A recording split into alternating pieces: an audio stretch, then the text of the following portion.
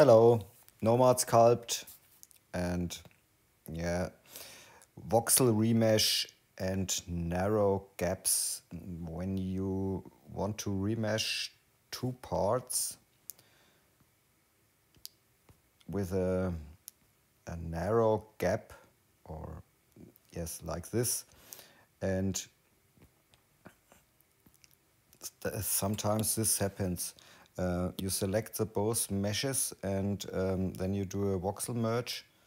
Um, then the mesh jumps over from the other mesh to the, yeah, from one side to the other and such things appear. Um, you can do one thing is uh, the higher the resolution, um, yes, then it hap in the less it happens. Um, let's wait a few seconds, but it uh, needs a lot of power um, to um, calculate the mesh now. Uh, this is one solution and now you can use the decimation function, but um, if you want to do it with a lower resolution,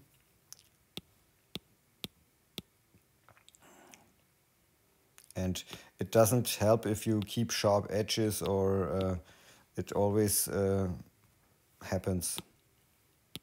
Okay, you can do here in the scene menu, press separate and then the mesh um, separates all the smaller parts.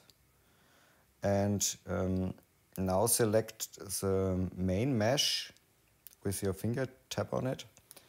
And all the other parts you can simple merge and now when you go in the solo view you see these are the the problem parts. And you can delete it now and um, go back to the, your main mesh and now it's clean. Um, the other parts you can smooth out or yes. That's it. Have fun with sculpting. Ciao